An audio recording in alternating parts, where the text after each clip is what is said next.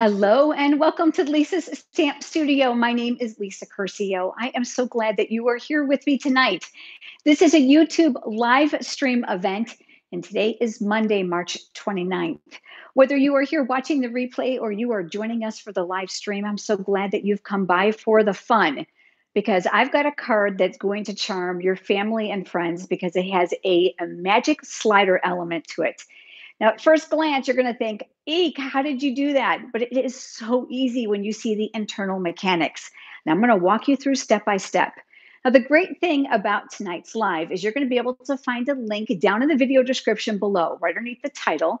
That will lead you over to the pictures, the cutting dimensions, and the supplies. If you scroll down, you'll actually see a red bar that says download the card details, and you can get all that information there. In addition to the card I'm going to be demonstrating for you this evening, I also have two other samples to share with you for a total of three different cards. And like I said, I've got lots of tips to share with you so that you can recreate this at home. If you have a Stamp Stamparatus stamp positioning tool, this is the project for that, that amazing tool. You're going to want to break that out. I'm kind of excited tonight.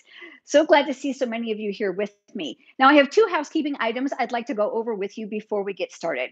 First, I want to introduce you to Megan. You'll see Megan's name here in blue, and she is my virtual assistant.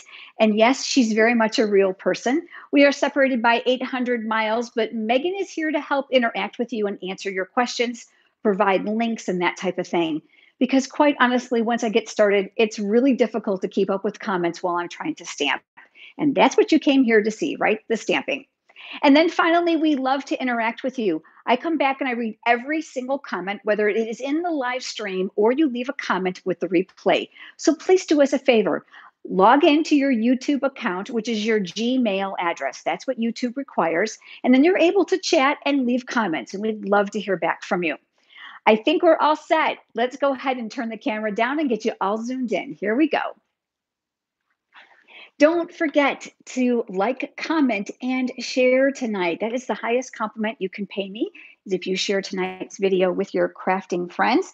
I'm just going to get you all zoomed in here and make sure that we are good and centered so you have a really nice vantage point. I'm just going to bring you in just a little bit closer. Okay, I think we're good. The very first thing we're going to do is we're going to work on the card base itself. And there's nothing different about this. This is five and a half by eight and a half I scored it at four and a quarter right before you joined me. So I'm going to go ahead and I'm going to crease up on that score line. And I'm going to use my bone folder for that nice crisp edge. Whenever you're doing a fun fold or a card that's going to have a magical twist like this one, which means there's going to be moving parts, don't be afraid to re- uh, reinforce those creases. Now, unlike cards we've made before, this time the fold is going to be at the bottom. So you have to think backwards. So this is going to be quite different. The next thing we're going to do is you're going to use designer series paper, which I am on this sample. Remember, I've got several others to share with you. I am going to adhere that here to the front first. If yours has a pattern like mine, please make sure that it's going in the right direction so that the card opens at the top. Boy, did I learn the hard way. So I'm going to bring in my silicone craft sheet for that because I tend to be a little bit messy when it comes to adhesives. I'm not a liquid glue girl, but certainly you could use that. This is going to keep my work surface sticky free. The silicone craft sheet repels all adhesive, liquid glue, and hot glue, especially if you get a little zealous like I do. So I'm going to go ahead and flip that over and look at that little heart pattern paper. Isn't that fun? Stampin' Up! Designer Series papers are double-sided, which means that you're going to be able to use them well beyond the theme that they were intended for. That really is a great cost-saving tip for you. You're going to be able to find all of today's products uh, in my online store over at lisasstampstudio.com. You're going to see that I was very generous with that. And that's because we're going to have to create an opening here. And I want to make sure I don't have an open area here once that's done. So I went around the perimeter and made an X down the center. Again, checking to make sure that your opening is near the top. And then you are going to center this. And I'm looking to leave that nice white margin all the way around. Okay, next step is we are going to have to die cut, or maybe in your case, it might be punch an opening here. Now I'm going to be using my layering squares dies. There's a sad story about these dies. These are on the current retiring products list. We have a brand new annual catalog. This one's on its way out, and the new one is on its way in on May 4th. And whenever we re- um, bring in a new catalog, we take a whole bunch of products and we retire them to make room for all the new current amazing things. And sadly, these layering square dies are what I call on the chopping block. They're on their way out. I have loved these as well as the layering ovals, which are also on that list. The reason I love them is the value. You're going to get cascading sizes of not only the plain squares, but the scallop squares as well. These are only available, like all the retiring products, while supplies last. You're going to want to head over to lisasstampstudio.com and you're going to want to shop before it's too late. You're going to center this on the front of that card base. Just look visually. And then what you're going to do is you're going to pass this through your die cutting machine. Now, I did that before you joined me just to save a little bit of space here and some time. And let me pull out that sample for you here. And it looks like this. So we've got an opening here at the top. Remember, we're going to do the top is going to be open. So we're just going to fold this in half.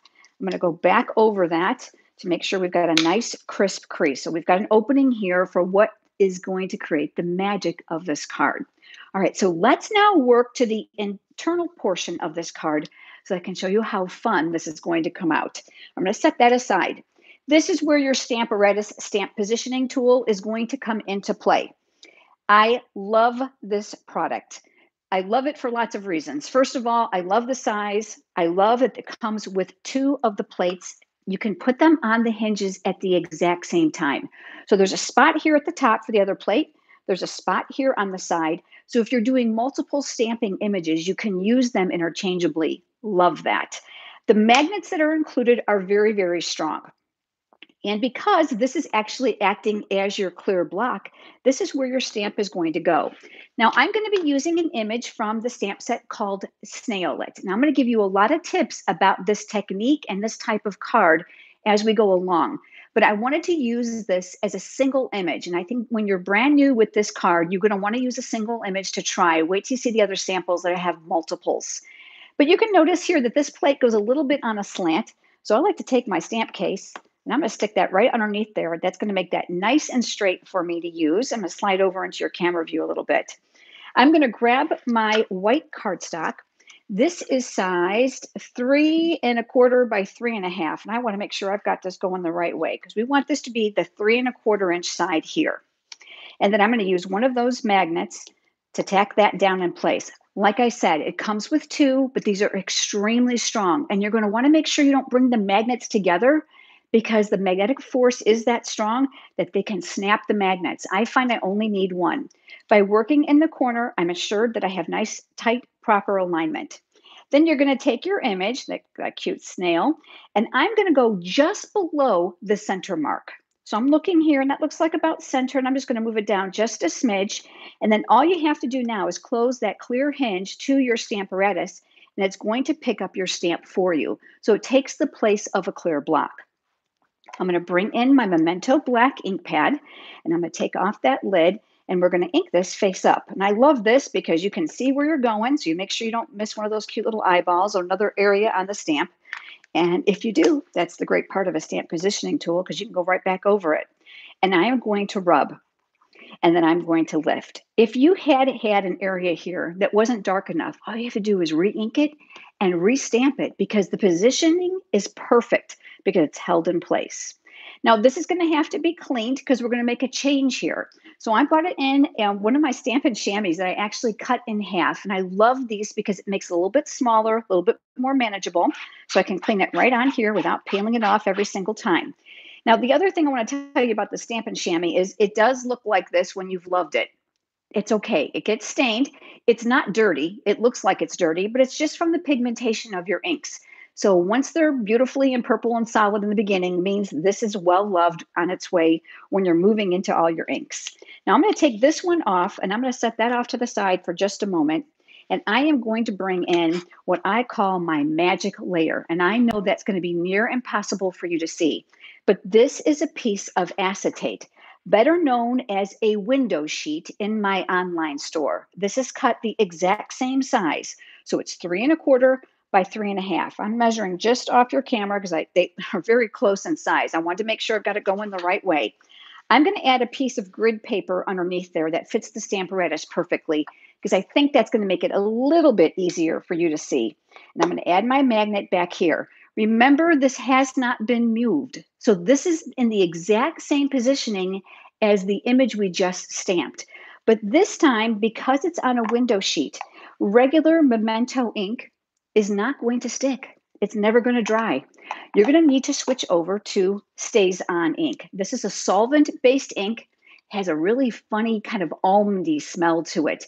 But it is a permanent, permanent ink. So you're not going to want to get this on your clothes, but it's great to use for tiles and cork and foil and all kinds of fun things. And this is great for the acetate. So once you're aligned, let's go ahead and let's ink up that snail face up here again. And we're going to ink that up and make sure we've got everything covered. Just like before, if you miss a spot, don't worry, you can come back. The other thing is acetate tends to be a little bit slippery. And this is where the Stamparatus is really wonderful because it holds it in place with that magnet. Now, just like before, you're going to go ahead and take your chamois and you are going to wipe this off. We're going to go through one more step with that stamp that I want to talk you through. Let's go ahead and take this off. And I'm going to show it to you here. This is going to need a little time to dry. So I'm going to set this off to the side as well. Let's talk about this image right here.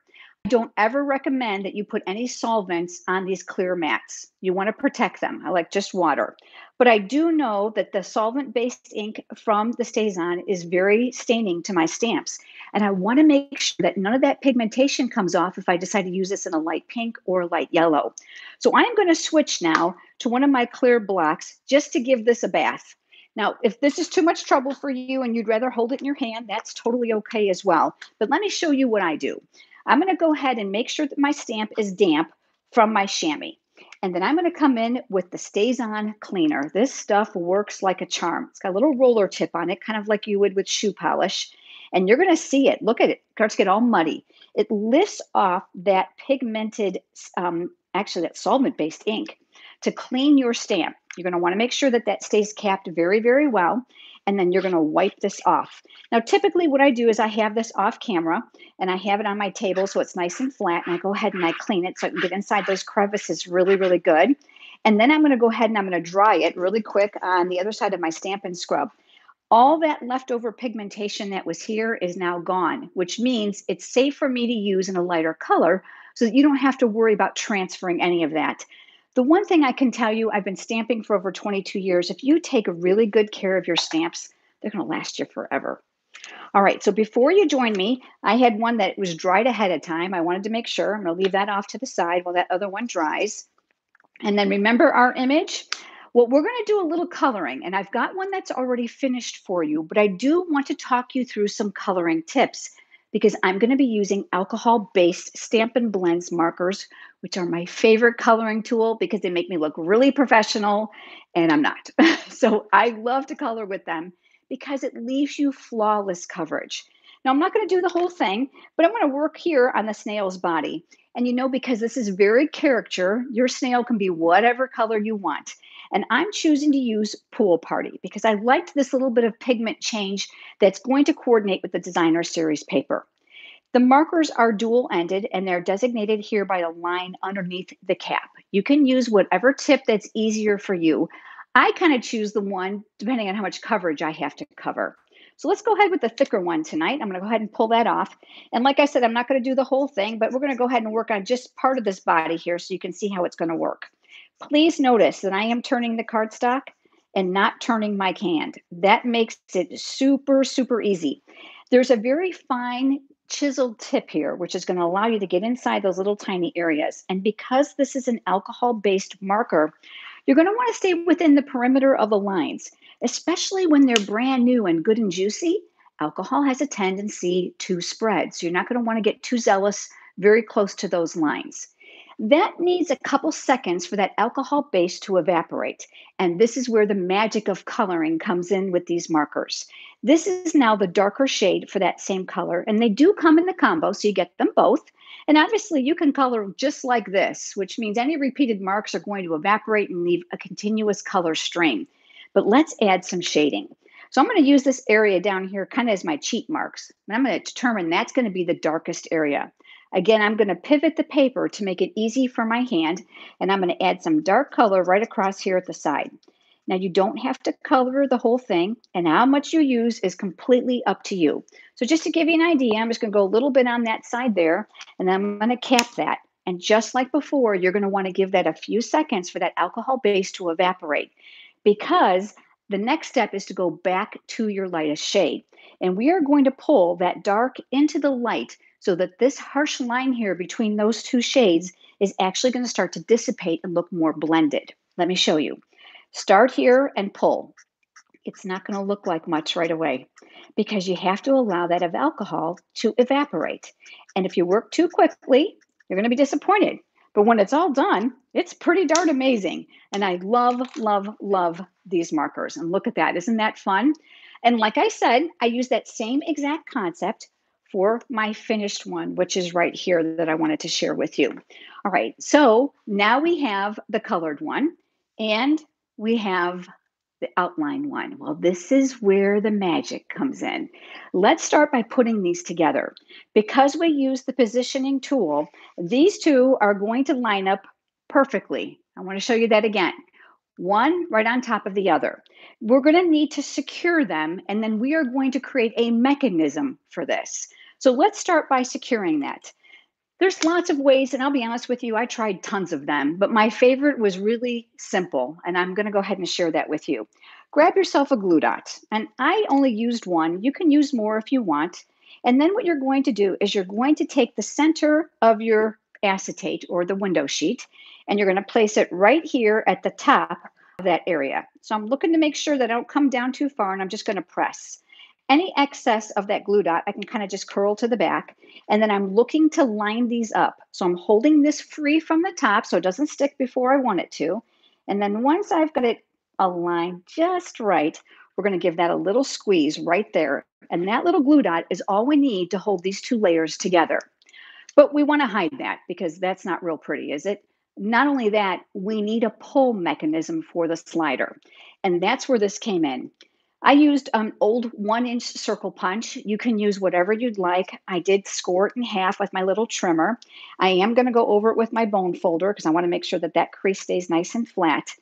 And I didn't even fold it in half perfectly. Look at that. But you know what? It's really not going to matter. You're going to need to use either liquid glue or adhesive. And I don't like liquid glue when I'm working with acetate because if you shift a little bit left or right, it leaves a muddy kind of surface. It's kind of cloudy when it dries. So I'm going to go ahead and I'm going to be really brave on this little tiny piece and I'm going to use adhesive. We got this, right? So I'm going to get my adhesive started. And I'm going to go ahead and I'm going to run that here down the center and I'm going to work on my ends. Now the Stampin' Seal Plus is my preferred adhesive and I love it because it comes in a cartridge and it's refillable, but it's super duper strong. But the other thing I love about it is it comes out in little tabs. So if there's a little overage, you can easily just kind of curl up those ends there. All right, so now we're going to take this. I want to make sure I don't have any adhesive on the front. And we're going to sandwich this right over that glue dot. And then we're going to tack that in place. I'm looking to try to make it centered.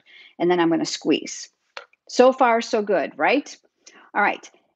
What we're going to do now is we're going to make a hole so that we can add some ribbon for the slider portion. So I'm going to go ahead and use an old tool that I have had in my studio forever. Do any of you have this? This is called the Crop-A-Dile. I know you're thinking, what? It looks like an ancient uh, torture device, doesn't it? But it has hole punches here on the side, on both sides. Actually, you're going to see that the holes are larger. Years ago, we used to use this for making um, brads and eyelets, but I love this because it goes through lots of layers of cardstock at a time. And obviously, with the acetate and the cardstock here, this is a little bit thicker than normal. So I have arthritic hands and I find that this is a lot easier for me to use.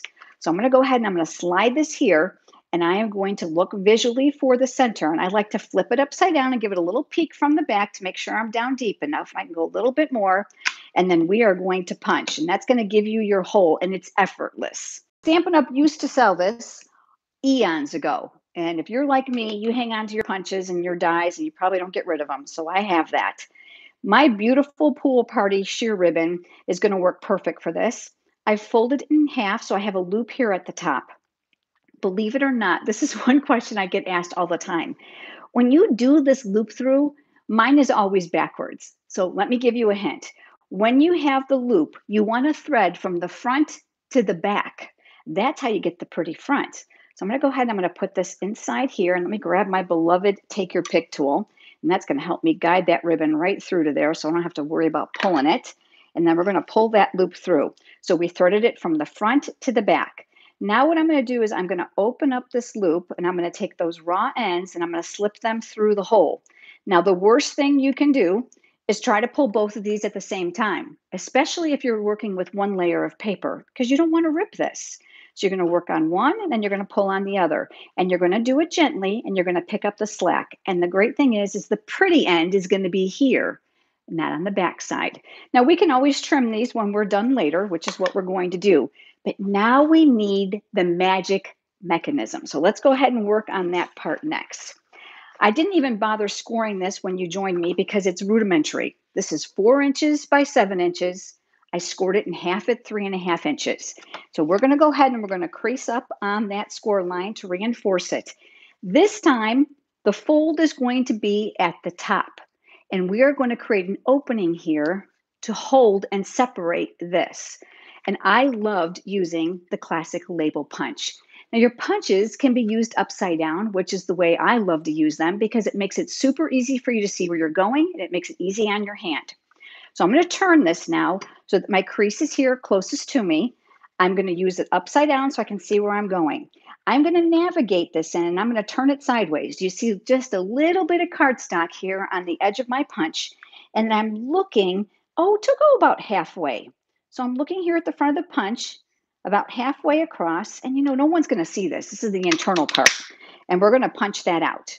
Now what we're going to do is we're going to slide over and we're going to do the exact same thing now on this side. So I'm going to hold this here and I'm looking to try to keep a little bit of cardstock here on the edge, just like we did on the right. And I'm looking to line this up the best that I can. And then we're going to punch. None of us ever does anything straight. So if it's uneven here, don't sweat it. Here's a tip take your bone folder and go over it. And what that's going to do is there's any little jagged mismark, it's going to make it nice and smooth. The other important thing about this you need to know is if you happen to have a little piece of cardstock here or here that's sticking out, take your scissors and give that a little bit of a snip because you don't want anything to impede on this track. Then what we're going to do is we're going to open this up and we are going to make sure that this is going to fit through it because we can always go back and cut a little bit more and see that's a little bit tight. I mean, it fits. Oh, you know what? Maybe it is perfect. I, that, that's like beginner's luck. I'm telling you what, that usually never happens for me. I think that's going to work really, really good. If ever you're afraid that's a little bit too tight and might be just a smidgen. So let's go back in let's just show you how to do this. I am going to move this over just a tiny wee bit. Do you see it? And let's punch this again. There we go. Again, if we have uneven portions here, we're going to just rub it away. Don't you worry about it. The next thing is, is this goes in like so, and we're going to check it for sizing. But here is where the magic comes in. Let's separate these. So the acetate's going to be on the front, the colored image on the back. And guess what this is for? This is going to do the separation. So this goes down inside the hole. So that's the colored portion. This goes down on side on top. Now, you're going to notice that this is going to meet perfectly. But what's going to happen is once this is all assembled to the card base, this is going to come right out, right? Because there's nothing holding it there. So we have to put what I call a stopper. So let me show you how that's done. Let's thread this one more time, front to back, push it down, and then we're going to open it up. Down here at the bottom of the colored image is where your stopper needs to go. It's nothing fancy. No one's ever going to see it. I cut a piece of cardstock. This is half an inch by four inches, which is the width of this mechanism piece that's holding the slider. There's a couple things you can do. If you are good with liquid glue, you can put a very small thin bead here, or in my case, because I'm horrible with liquid glue, I use way too much, I'm going to put it here on top of the cardstock. So I'm going to add it right down the center. You do not want too much because you don't want it to fall on those outside edges. Otherwise, that's obviously going to stick to here. So I'm going to make sure that this is centered and I'm looking to make sure it's near the bottom. And then once I have it, I'm going to open this up. Remember, nothing sticks to this. And I'm going to work this right across here. So let me, make sure that's up right in the right spot. There we go. So right across here and across here. So I'm just adding like a barb, okay? Now what's going to happen is that little strip is going to stop it from coming all the way out. Look, isn't that great? All right, we're almost finished. Let's put these two pieces together. What I have now is the card base. Remember we had the opening at the top.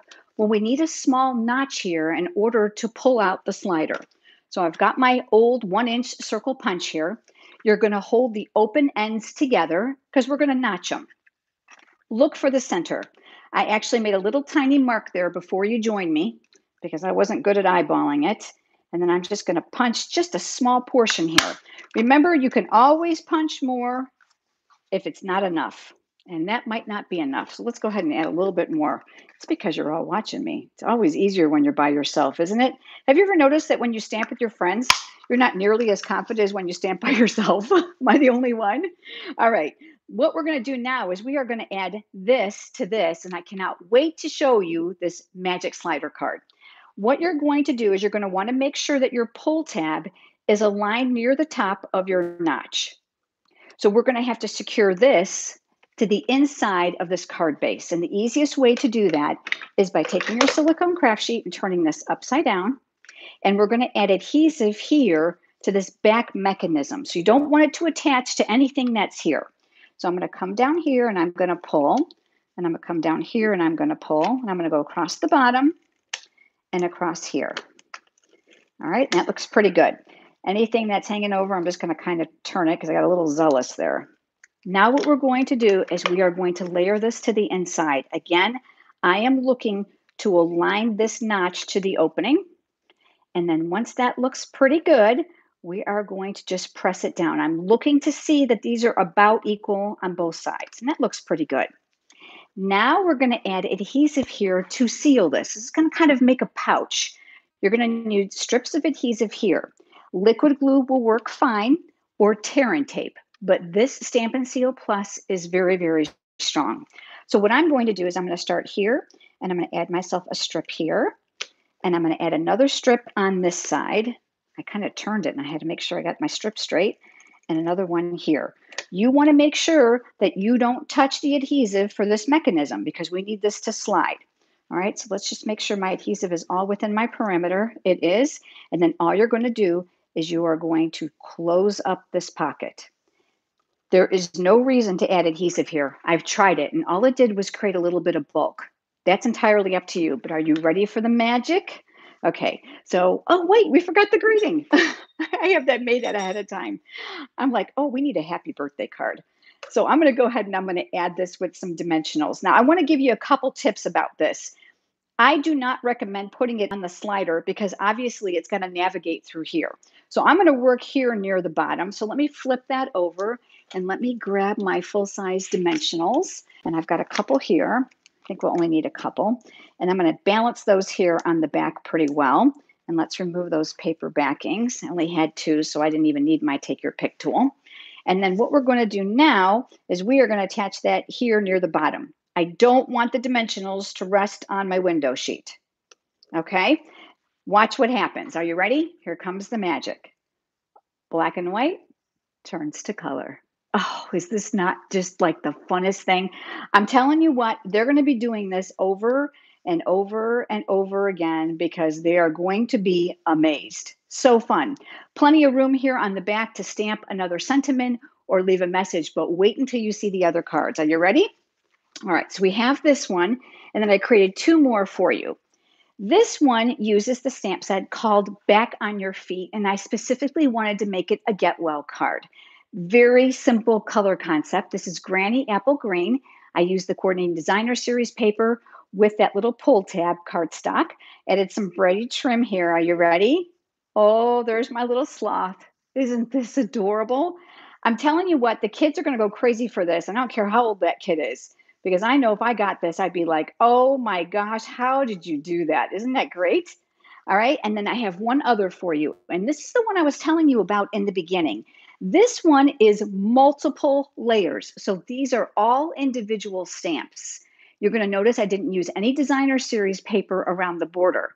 I am going to recommend that you start this by trying it with a single image stamp until you get the hang of it. It's not hard, but just get a feel for it. Then what I did is I actually stamped pieces. So I stamped the boots first on the white and then on the acetate. And then I added the white again and I added the umbrella and I did the acetate. So there was some back and forth, but it's a great way for you to upscale your design. Are you ready for this one? Really simple, rain or shine, you're always on my mind. Okay, I got to grab it right and then we're to pull it out. Look at that. Oh my gosh, does it get any cuter? Isn't this adorable? What looks like a black and white card just comes out to be magic. So there we go. We have this one, and then we have our little sloth here. And then, of course, we've got our happy birthday snail here. I'm going to turn the camera around. And while I'm doing that, I want you to tell me which one is your favorite. And I'm going to be sharing the next live date with you. Oh, it's fun to read your comments. Thank you so much. Isn't that fun? I know. And the magic is simply just two pieces put together with a mechanism in the middle to separate them so that when you pull, they come together. The Stamparatus stamp positioning tool is worth its weight in gold. Everyone who has it can vouch for that. I can tell you that right now. It's an incredible stamp positioning tool. All right.